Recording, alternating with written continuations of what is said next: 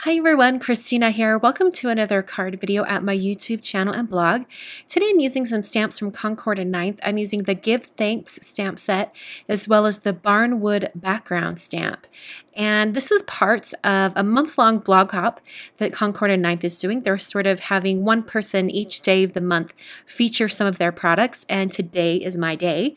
And the thing that's cool about this is that there is a $20 gift card to Concord and 9th's shop up for grabs at my blog. So if you want a chance to win some money to spend in their store, please head over to my blog. There's a link in the top corner.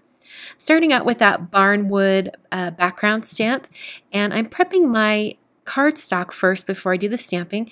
This cardstock is Neenah Solar White, and this is the 80 pound version.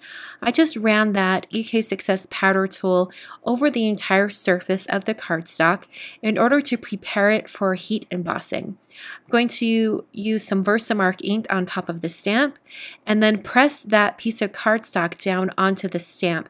This is the easiest way to use large background stamps like this because it keeps the background stamp very even and flat and it gives you the opportunity to take another piece of paper and place it over the top and then you can use your fingertips to press that cardstock into the stamp and it ensures that you get a very even impression.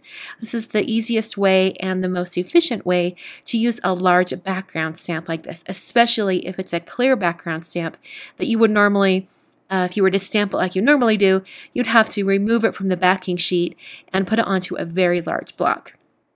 I'm going to use some Ranger Clear Embossing Powder and I'm sprinkling that on over the entire background here and then I will tap the cardstock on the back to uh, kind of shake off all of the excess.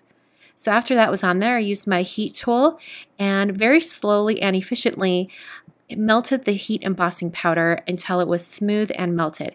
I actually had it tipped in the light so that I could see when it turned shiny and then I knew that all of that powder was melted. Otherwise, it's sometimes hard to see clear embossing powder on top of white cardstock. So I'm using uh, some distress inks today, and that's why I've got my craft sheet out on my work surface. Um, I think that blending onto um, a project from a craft sheet is a little bit easier because because it's a slick surface. So I'm going to speed up the video here. I wish I could blend inks this quickly, but in real life, it's just not possible. But I'm going to walk you through it. I used, first I used Squeezed Lemonade Distress Ink, and now I'm using some Worn Lipstick. These colors blend beautifully. Then I'm going to switch colors and move on to Seedless Preserves and this is going to give a nice intense purple shade. Um, Preserves, the color has a lot of red in it, so it blends into red tones really, really well. I'm now using some chipped sapphire and chipped sapphire is sort of a purpley blue so it's a great transition color from purple to blue. And then the last color I'm using is Peacock Feathers. And this is kind of the same deal where it's a little bit on the greenish side, but it has blue, so it will help transition those colors. So I cleaned off that craft sheet to get all the ink off and then went back and blended some of those colors once again. I realized there was a lot of yellow right at that end and I wanted to get the colors in the middle to have a little bit more space. So I just went over those colors one more time. Then after all that was done, I cleaned up my craft sheet once again with just a baby wipe. And then I just moved that baby wipe to kind of a clean section and wiped over that clear embossing powder. And that just takes off any of that ink that was sitting on top of the embossing powder. It reveals that white underneath and it gives a really good contrast between the white embossed areas and also the color blended areas. So I'm chopping off just a little bit off each side so that the finished size on this is four inches wide by five and one quarter tall. And then I'm going to stamp some sentiments from that other stamp set. And I'm prepping some vellum here and then stamping the sentiments in Versamark ink. I'm using three different stamps from the stamp set to build my own greeting. And I'm stacking the words so that they're positioned just right so that I can put them on top of my background piece that I've already created. I'm adding some embossing powder. This is Rich Pale Gold embossing powder from WOW.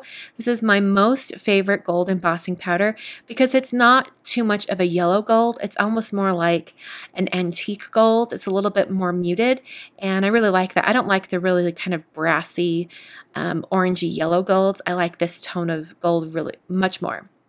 So after I heat heated that with my heat tool and it was smooth and melted, I moved on to adding some gold onto the edges of my background piece as well as the vellum piece. I realized that I thought about you know, adding some hearts or something to this card.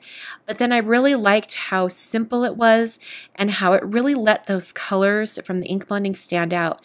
And so instead of adding hearts onto this and possibly covering up even more of that background, I decided that I would just add some gold edging to all of these pieces. And that was just enough of a detail to make me feel like it was finished because other than um, adding hearts on top or things like that, it looked a little bit too simple and stark for me, but adding little details in like this really finishes things off.